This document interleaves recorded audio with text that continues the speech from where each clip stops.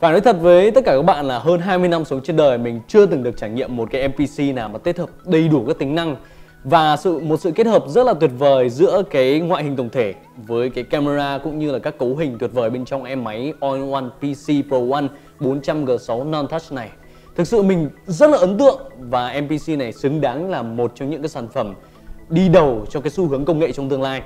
Xin chào các bạn, mình là Thành và chào mừng các bạn đã quay trở lại với kênh youtube của Ben Computer. Ngày hôm nay thì các bạn hãy cùng mình đi review em All-in-One Pro One 400G6 này các bạn nhé Let's go!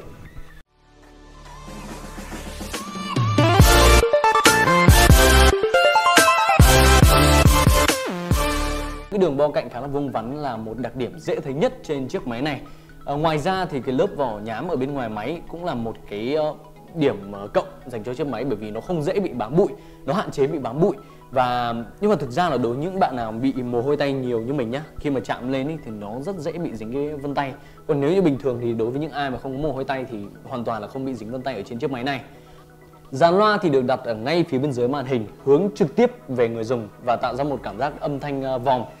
Đối với bản thân mình sau khi trải nghiệm xem phim và nghe nhạc xong trên chiếc ờ, PC này thì mình có thể thấy rằng âm thanh rất là sống động và hoàn toàn đánh bại mọi chiếc laptop nằm ở phân khúc dưới 30 triệu. Đối với phần chân đế của chiếc máy này các bạn có thể thấy đây là một thiết kế rất là hiện đại và khá là vuông vắn góc cạnh.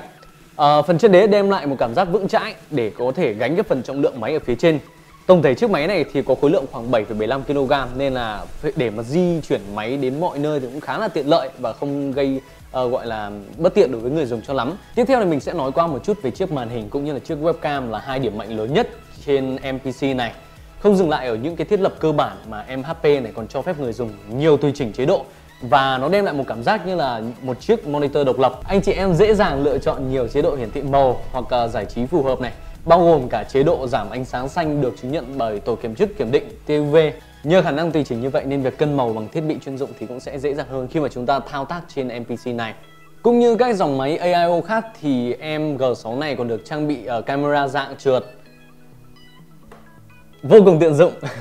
Mặc dù không có điều chỉnh chế độ auto nhưng mà chiếc camera này có thể chạy bằng cơm nhưng mà cũng khá là tiện dụng các bạn nhỉ. Như các bạn có thể thấy thì đây là hình ảnh của mình và anh quay phim, anh Phương uh, đang được xuất hiện trực tiếp trên chiếc camera của mhp này. Ngoài ra cái điểm mạnh của chiếc camera thỏ thụt này đó chính là nó vẫn giữ được cái tính thẩm mỹ này, cái tính thiết kế cũng như là cái tính bảo mật khi mà camera có thể che xuống một cách vật lý thì có thể ừ, giữ được cái những cái ờ, hình ảnh của thông tin của người dùng Ngoài ra thì đối với những sản phẩm tặng kèm ví dụ như là chuột về bàn phím này thì uh, đó sẽ là những sản phẩm đi kèm khi mà các bạn mua full bộ nhé các bạn nhé mua nguyên một bộ ấy. Thì thực ra thì mình sẽ không có nhiều cái cảm nhận gì về chuột bởi vì nó cũng chỉ là một chiếc uh, một cái con chuột bình thường cho các bạn dùng thỏa mãn đủ các yêu cầu thôi. Còn đối với bàn phím thì thực sự mình rất là ấn tượng tại vì bàn phím uh, khi mà tặng kèm ấy thì sẽ là một chiếc bàn phím đến từ nhà HP bàn phím khi mà bấm thì nó cũng không ra tiếng đâu và nó đáp ứng đầy đủ những cái nhu cầu của những anh em văn phòng này chơi game ở mức độ bình thường. Cảm nhận của mình mà sau khi dùng MHP All One này thì nói thật nó quá làm